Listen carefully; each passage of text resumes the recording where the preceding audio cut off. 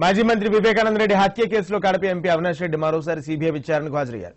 అవినాష్ రెడ్డిని సీబీఐ అధికారులు సుమారు ఏడు గంటల పాటు ప్రశ్నించనున్నారు. వివేక హత్య రోజు అవినాష్ రెడ్డి వాట్సాప్ కాల్స్ పై సీబీఐ విచారించనుంది. అదేవిధంగా అవినాష్ రెడ్డి వాంగ్మూలాన్ని రికార్డు చేస్తారు సీబీఐ అధికారులు. ప్రతి శనివారం సీబీఐ విచారణకు హాజరు కావాలని హైకోర్టు ఆదేశించడంతో ఇవాళ MP Avinash Reddy high court హైదరాబాద్లోని సీబీఐ కార్యాలయానికి వచ్చారు. వివేక హత్య జరిగిన అర్ధరాత్రి టైంలో అవినాష్ రెడ్డి వాట్సాప్ యాక్టివ్గా ఉందన్న అంశాన్ని కౌంటర్ అఫిడవిట్లో సీబీఐ అధికారులు ప్రస్తావించారు. దీనిపై అవినాష్ రెడ్డిని సిబిఐ అధికారులు ప్రశ్నిస్తున్నారని సమాచారం. ఉదయం పది గంటలకు విచారణ ప్రారంభం అవ్వగానే అవినాష్ రెడ్డి వ్యక్తిగత మొబైల్ను అధికారులు స్వాధీనం చేసుకున్నారు. వివేక హత్య జరిగిన రోజు వాట్సాప్ కాల్స్ వాట్సాప్ చాట్కు సంబంధించిన అంశాలపై సీబీఐ అధికారులు విచారణ చేపట్టారు.